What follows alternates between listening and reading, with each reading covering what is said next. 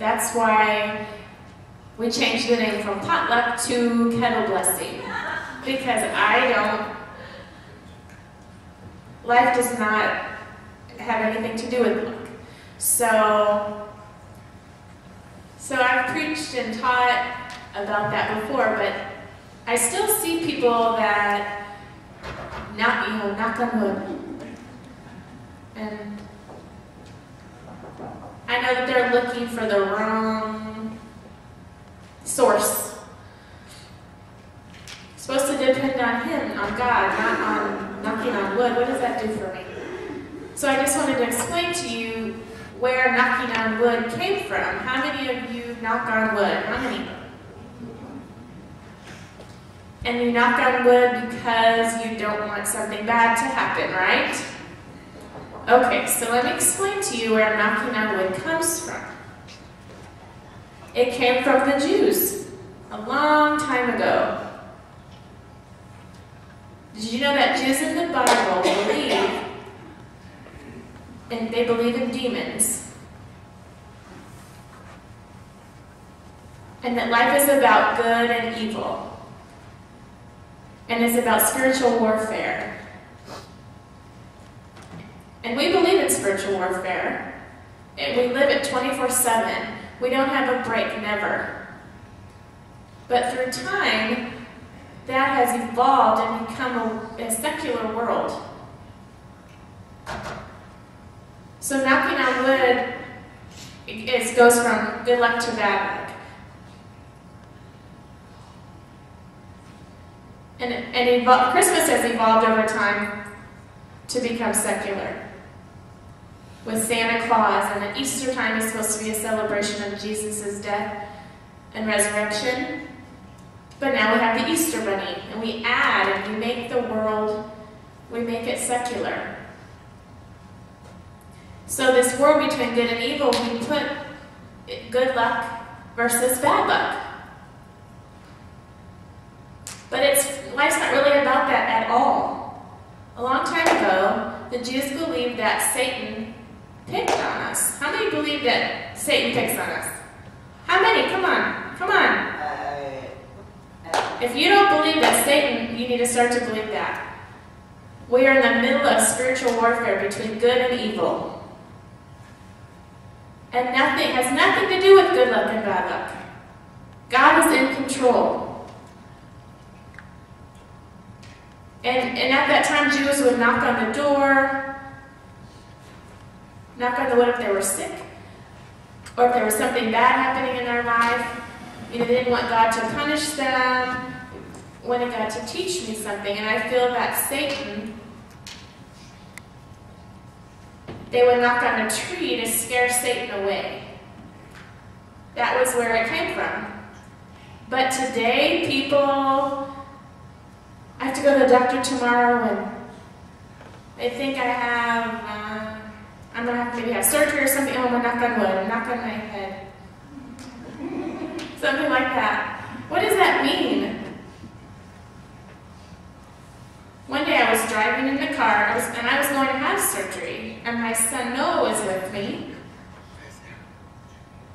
And while I was driving, it was actually the night before at church, I had told people, I've always prayed that I don't have to have surgery and in the car that morning, Noah said to me, Mom, don't pray that you don't have to have surgery. Pray for good health. And maybe surgery is what's going to give you that good health. And wow, that was that really impacted my life because I need to depend on Him, the one who created us, the one who's in control of our lives, and the one who decides everything for us. Has nothing to do with luck. Nothing. Nothing at all. This morning, I woke up at 7, a little before 7, and at 7 I started studying my sermon. And instantly, I mean instantly, Satan started picking on me. Everything went wrong this morning. Everything. Everything. Everything. And it had nothing to do with luck. It had to do with this sermon. And Satan did not want you to come to church, and Satan did not want me to be able to preach. And Satan has been picking and picking on me. And I did not knock on wood. I did not kiss a lucky coin. I did not kiss the necklace, nothing. I prayed to him to protect me and to make all the demons go away from me because I knew that he sent his son into the world to overcome and to conquer evil. I could depend on him or I could depend on the world. He is the source that we go to to get help. Not the worldly things, not wood, not coins, not all these lucky things, nothing. He. It's important to know that because if you depend on the world, worldly things, you will disconnect from God. It's true. Because you will think things can help you, and you will not ask God to help you. And He's right there ready, wanting you to ask Him for help. He wants to help you. He wants to show you what to do and what not to do. He wants to show you His love and His grace and His mercy. And if you depend on the world, worldly things, then you're disconnecting everything from Him. Like knocking on wood, or you're doing it for the wrong reason. If you knock on a tree to scare the demons away, that's fine. But if you knock on wood, and you don't even know why you're knocking on wood, just because you think it's good luck, right? That's why we do it. Okay, I want to show you a verse. Let me say this before I show you the verse, though. The difference is if you use the cross cross reminds you of Jesus. That he died and was buried and resurrected. That's different. I cherish my cross. I love this cross. But I don't worship this cross. I worship the Lord that was crucified on the cross. That's different. If you have things in your home, pictures of Jesus or someone from the Bible, and you don't worship that picture. You look at the picture and you think of God. But we misunderstand and we take things and then we start to worship that thing. But we need to use it as a reminder of our Lord. And some people use the cross with Jesus still on the cross. And that's okay. That's a reminder to you that Jesus did suffer and became a sacrifice, a sacrificial lamb. But that is to remind us not to worship that thing. I have a list um, I found on the internet, and I found 50 lucky charms. 50. That people carry with them and worship, and that become their idol. It becomes idol worship. It really is. And then we behave like the Hindu or Buddha. Some Christians carry or have with them Buddha, have the Buddha in their home, and they bring it for good luck. That's idol worship. Some people think Buddha's tummy, if you rub the tummy, I will have a lucky day. Buddha's dead. Jesus is alive. He will give you a good day, not Buddha. Do you see the difference between worshiping things and worshiping our Lord? Depending on things for a good day or depending on God for a good day? This morning I had a, small thought of just running away. But I didn't I didn't surrender. I surrendered to my Lord and I knew that He would protect us and that He would protect this worship service that this worship service would become a 10 plus plus plus. Amen? Okay, let's look at verse. This is Mark chapter 1, verse 21.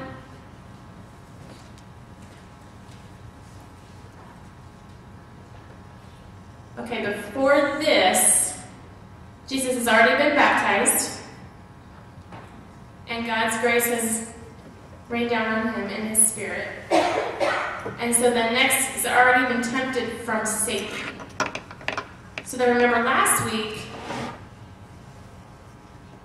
Jesus chose his disciples to go with him. The people that saved souls went with him. So now, verse 21 says, The twelve disciples went to Capernaum, and when the Sabbath came, Jesus went into the synagogue and began to teach. Okay, synagogue. During Bible times, the synagogue it's like a teaching school or institute. Doesn't have a pastor. The synagogue led and picked people who were smart that came to read and they would pray together and they would listen to God's word. And then the Torah, they would open that up and someone would read that and explain the meaning. And that's what I'm doing now. I'm showing you that now in this verse. I'm explaining the meaning to you. So Jesus had free admission to teach. To any synagogue he wanted to, and no one got upset or mad at him. So verse 22 says, The people were amazed at his teaching because he taught them as one who had authority, not as the teachers of the law. They were amazed. Why? Because the rabbis would enter and they would teach, and the rabbis would say, God's word, God's word says, and then they would explain it. And God said, and then they would explain it. And they would have a quote, and they would, they would explain it. So then they had the Torah. But Jesus would just preach and teach without using that. Jesus himself was God. And he would preach and teach. And people would, were so attentive and would listen. They knew it was straight from God and they just took it in. It was coming straight to them from God and they felt a peace. And the authority. And they felt right. That's exactly like us with the deaf church. That's why this church has to fight and fight and fight for many years to try to have a deaf church, not a deaf ministry. We needed a deaf church that you can listen and receive directly from God. That's why we fight so hard and it's important. It's very important. Okay, verse 23 says, just then, a man in their synagogue who was possessed by an evil spirit cried out, What do you want with us, Jesus of Nazareth? Have you come to destroy us? I know who you are, the Holy One of God. Do you know why the man came? Because for many, many, many years, Satan was, in, was involved and messed up everything, caused chaos. And Satan knew that the Messiah was here, and that was the end. He knew he couldn't overcome Jesus. He was the creator of you and me. And we don't have to depend on anything else because we can depend on him. We must learn how. We must things, statues, pictures. Those things are dead, but Jesus is alive. And this man knew that Jesus would overcome for sure. He knew. Isn't that cool? Jews at that time knew that Satan would cause sickness or cause bad things to happen or cause disease or blindness, death, cause cripple, crippling. It caused many, many things. They believe that. And Satan today has some churches, people have come up to me and said, so your family's deaf, so I think that maybe Satan was involved in your family. That's why you had deafness for so long. And they said we get under an exorcist. You know, where they throw holy water on you, and my family's deafness would go away if we had an exorcist. Or if my children or someone's behavior is bad, it's because of Satan. Need an exorcist. I don't know. Scary to think of that. But today we do still face problems and we do still face many things that pop up in our lives, in our marriages, in our relationships, in our schools, in our work, with our children, with our parents, with the aging parents, we have many things because life can be hard. And Satan is very active in the world, very active. But if you don't learn how to depend on him and how to surrender to him and let him control, be in control of your life, then you will drown in despair. You will drown in wondering what to do. We use good luck things because you can see that thing. You can't see God. You try to pray, and He doesn't answer your prayer right away, so you, you grab a thing and try something else. But I'm telling you, I promise you, you will not find an answer in a dead God. You will only find answers and help and encouragement and love and grace and feeding through Jesus Christ, our Messiah. That's the only way. The only way. Okay. See what happens. So verse 25, 27 and 20, or 25 through 28. Jesus said, Be quiet come out of him. The evil spirit shook the man violently and came out of him with a shriek. And the people were all so amazed that they asked each other, What is this? A new teaching and with authority? He even gives orders to evil spirits and they obey him. And the news about him spread quickly over the whole region of Galilee. It spread all over. Wow, praise the Lord that Jesus came and he showed us that God is real and God is alive and that Jesus can command whatever you have inside, whatever battle you have inside of you right now, today, yesterday or tomorrow, next week, forever and ever, whatever your spiritual worker is, God can command it to come out of your body. He can show you what to do. He can show you what not to do. He can make your day good. He can make your life good. He can help you pick colleges, pick a spouse, pick a place to work. He can help you make any decision that you need to make because he loves you and he cares about you. And he stayed alive for you he was buried and resurrected for you and me. Whatever you're battling inside, even if it's small or if it's big or if it's overwhelming, he wants you to depend on him and not things. Him.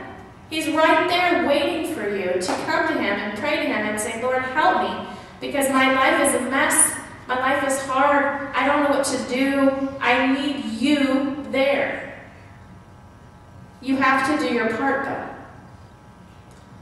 You can't ask, and if he doesn't give it to you what you want, or he doesn't do what you want to hear, you just drop that and then you go to things. You get your coin and rub Buddha's belly. No. You ask him to provide, and you receive it, and you surrender to his perfect plan, his perfect, what he wants for your life. And to believe, to believe that. It's a relationship back and forth, and it will be successful. Amen? Amen. Let's close prayer.